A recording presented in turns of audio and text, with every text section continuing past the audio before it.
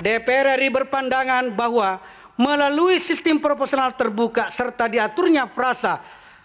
tanda gambar partai politik, nomor urut partai politik, nomor urut dan nama calon anggota DPR, DPRD provinsi dan DPRD kabupaten kota pada pasal-pasal eko Undang-Undang Pemilu yang diujikan oleh para pemohon justru telah memberikan kejelasan dan kesempatan luas terhadap masyarakat untuk berpartisipasi dalam pemilu. Diberlakukannya sistem proporsional terbuka telah mengembalikan kedaulatan kepada rakyat untuk memilih secara langsung dan menentukan pilihannya terhadap calon anggota legislatif dengan suara terbanyak.